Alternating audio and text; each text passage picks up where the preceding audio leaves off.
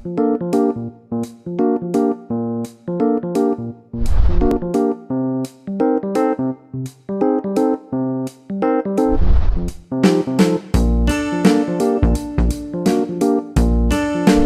Bhagya, the popular GTV show produced by Balaji Film, has been seeing Abhi and Pragya's involvement with the new generation Rishi and Priyanka's life.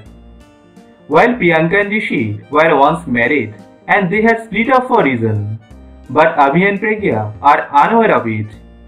Rishi will tell Pragya the entire truth of their breakup and seeing each other again after many years. Pragya will be shocked to know this.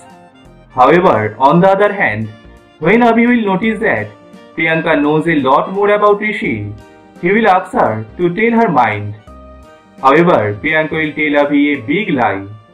Priyanka will tell Abhi that Rishi is a bad guy.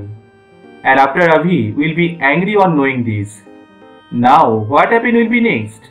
Watch Kumkum Bhagya. Thank you so much friends for watching this video and subscribe our channel. Hit like and share this video and press the bell icon for latest new video daily.